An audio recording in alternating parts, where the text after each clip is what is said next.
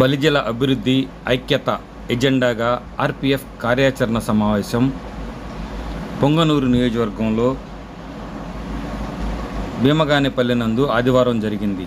పూల హేమంత్ రాయల్ కోగుల జనార్దన్ రాయల్ మూపూరి ఆనంద్ రాయల్ ఏర్పాటు చేసిన ఈ సమావేశంలో రాయలసీమ బల్జిల వెనుకబాటుతనాన్ని రూపుమాపటానికి రాయల్ పీపుల్స్ ఫ్రంట్ నిర్వహించిన ఈ సమావేశంలో దక్షిణ భారతదేశంలోని అన్ని రాష్ట్రాల నుంచి ఆర్పీఎఫ్ ప్రతినిధులు హాజరయ్యి పలు తీర్మానాలు చేయడం జరిగింది.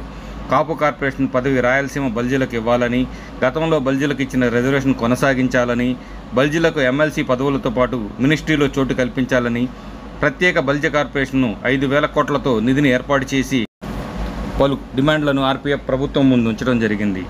ఈ విషయంలో భవిష్యత్తులో పోరాటం ఉంటుందని ఆర్పీఎఫ్ ప్రకటించింది.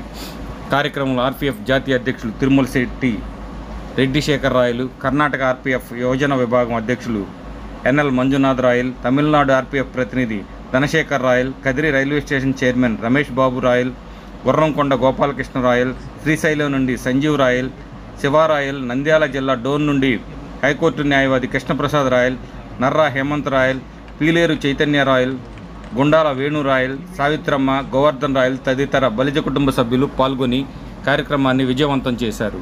సాధించేయాలి. ఏం సాధించాలా? ఒక రాష్ట్రంలో అధికారం వస్తే సరిపోతుందా మనకు?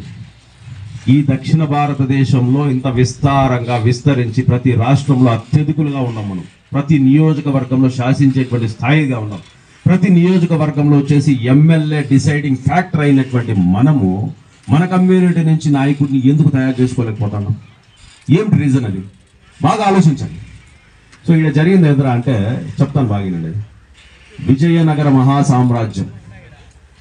ఏంది ట్యాగ్ లైన్ ఇట్లా పెట్టిన తర్వాత మన కులంలో ఉన్నటువంటి చాలామంది ఎమ్మెల్యేలు ఎంపీలు ఎక్స్ వాళ్ళందరూ నవ్వుకున్నారనమాట ఇదేందో పెట్టినాడు బా ట్యాగ్ లైన్ ఈరోజు చూడండి కర్ణాటక నుంచి వచ్చినారు కదిరి నుంచి వచ్చినారు కర్నూలు నుంచి వచ్చినారు పులిచెర్ల నుంచి వచ్చినారు చిత్తూరు నుంచి వచ్చినారు రాష్ట్రంలో నలుమూల నుంచి వచ్చినారు లోకల్గా ఉన్నటువంటి పెద్దలు కూడా బాగా ఆశీర్వదించినారు.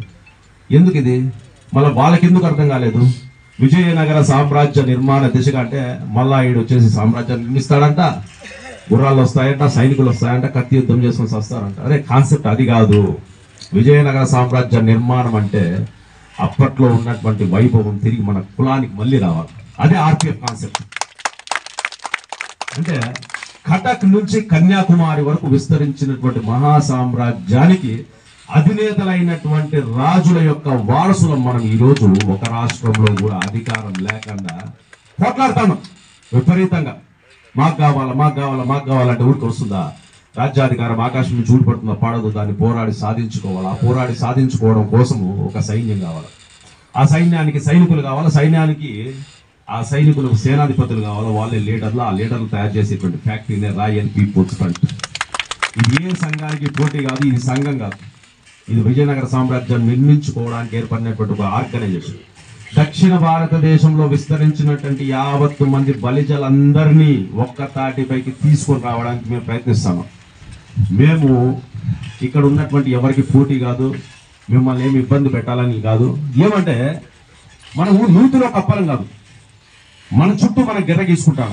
మాది బలిజ సంఘము మాది సంఘము ఈడ మాత్రమే మేము మాత్రమే ఉండాలి. అట్లా కాదు. ఏంద్రా అంటే ఈరోజు అక్కడ ఈ పోస్టర్లో చూసినట్టయితే కింద వచ్చేసి తిమ్మమ్మ మరేమో ఆమెకు పూట కూడా వేసినాము ఈ పోస్టర్ ఒకసారి చూడండి.